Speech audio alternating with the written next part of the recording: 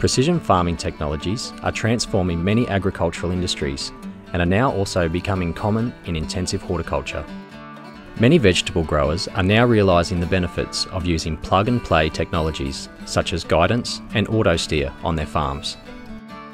Some growers are now also turning their attention towards the next generation of precision technologies to reduce and manage crop variability.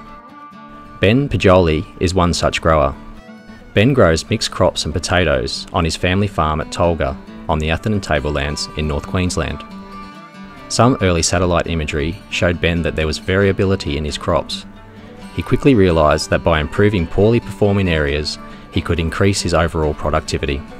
I knew there was issues in that field from when I'd harvested it and I didn't actually know what had caused like the decline in yields in some parts and higher yields in other parts, which made me sort of go searching then to try and work out how we go about ground truthing this information, what sort of technology we can use to actually retrieve the information so that we can then put it to a GPS point and um, ground truth that point to find out what is going on in that, that one particular area. Ben is using crop sensing, yield monitoring and variable rate technology as part of his farming operations. The crop sensing system Ben is using is called GreenSeeker. It measures the amount of light reflected by plants and uses this as an indicator of plant health. The higher the reading, the healthier the plant. Ben has previously used high resolution satellite imagery, and while the delivery times for satellite data is improving, it's often not timely enough for vegetable operations and can be hampered by cloud cover. A major advantage of a ground based system like GreenSeeker is that it captures information in real time. This allows Ben to pick up problems earlier and minimises the impact of yield loss by allowing early intervention. GreenSeeker is different to satellite imagery because it's basically real time as you're going through the field and we spray basically our peanuts at least 10 times a year, which is every seven to 10 days.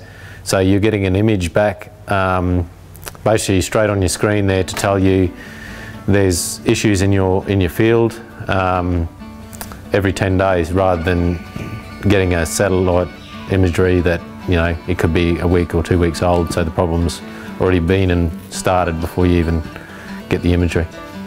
In addition to GreenSeeker, Ben has installed yield monitoring hardware to his potato harvester. This means he can now accurately measure yield from specific locations on his farm. Ben and his agronomists use this information to target problem areas in his fields, such as poor yield, seed viability, and moisture stress. We've just received back our um, potato yield mapping, and from that we were able to see that in that field we had some seed issues, and you could really see um, the difference in those fields that had that issue and how, how much yield loss you can get from that.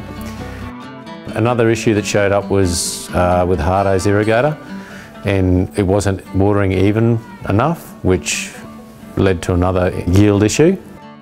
A big advantage of this technology is that it can identify emerging problems before the symptoms become visible or are beyond treatment. We probably wouldn't have picked up those issues um, had we not had this information to actually go looking for it. It showed up on the GreenSeeker as well as we were spraying. Um, that you know, there was low yield areas in that field. We knew the one with the seed uh, because you could actually see it, there's plants missing. But the water one, we, we couldn't see it as the GreenSeeker was reading it, but you did see it sort of a week later when you know, the moisture stress showed up. But the GreenSeeker picked it up a long time before we could actually pick it up visibly. These technologies are designed to easily integrate with existing machinery on both large and small farms. However, some technical support from equipment manufacturers and dealers is usually required to optimise the setup. The fitting of the, the equipment um, was not super hard. Um, it all basically fitted onto all the machines reasonably easy, a little bit of modification here and there, but nothing that you know the average farmer couldn't sort out.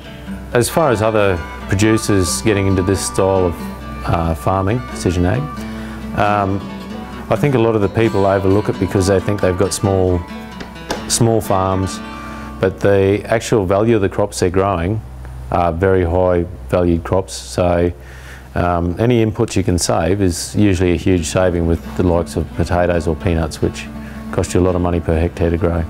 With some fine tuning, Ben is confident that the technology will help him achieve more uniform crops and better yields. I hope to be able to use that data to um, increase my dollars per hectare return by increasing yields um, in those poor areas and basically decreasing the amount of products I have to put on. Precision management tools such as crop sensing and yield monitoring offers horticultural producers new ways in which to view and manage crops. Identifying, understanding and managing crop variability can have a major impact on the profitability of vegetable farms.